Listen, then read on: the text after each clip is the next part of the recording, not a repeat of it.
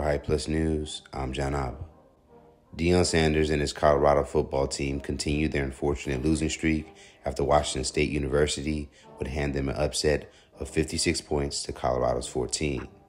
Sanders, who would electrify college football at the start of the season in September, has definitely drew in many critics now that his team's original hype has disappeared.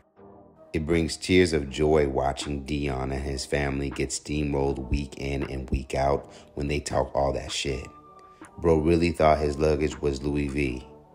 Like, bro, they were all at HBCU for a reason. You effing blow. For Deion, who is known for his confidence and charisma, would display a different set of emotions on the sidelines, which users online would begin to notice during Friday night's game. Some online users would even point out that Sanders appeared to look as though he wanted to cry as he watched his team struggle on the field. A photo of Deion would even surface which looks to appear with him with tearful eyes. Deion looked like he was about to cry, down 7 to 42 at halftime. Deion about to cry on the sideline. Deion looks like he's about to cry, no cap. One user would even admit that the usually upbeat Deion appeared to look defeated during the game. Deion on the sideline just looked so tired and defeated.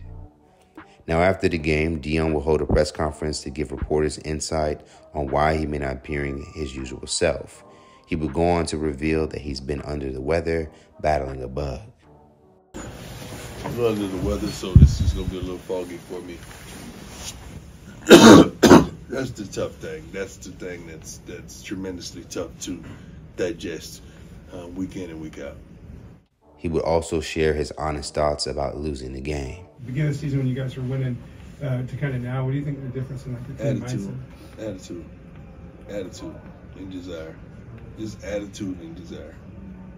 Moments like these can make many of us reflect on the lessons that can be learned, like understanding how life at times teaches us humility as a way to maintain balance. So when Colorado took their early confidence and used it as a way to stun on others, the universe quietly took a note. A Colorado fan would chime in with a lesson of humility they appear to have also learned.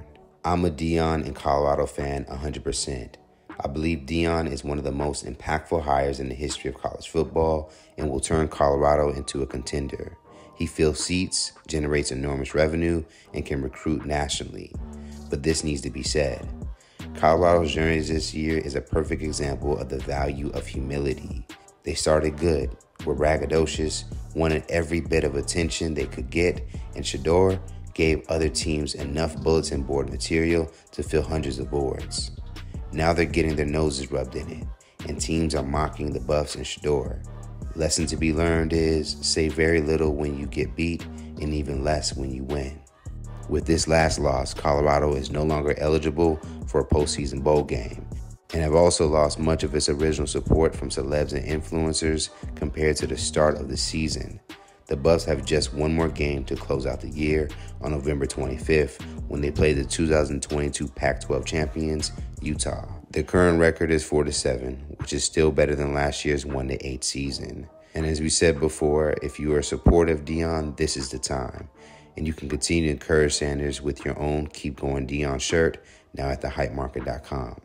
Let's talk about it more in the comments below. What have you learned from Deion coaching at Colorado this year? For more news in comedy, culture, and music, be sure to subscribe here to our YouTube channel and follow Hype Plus across all social media.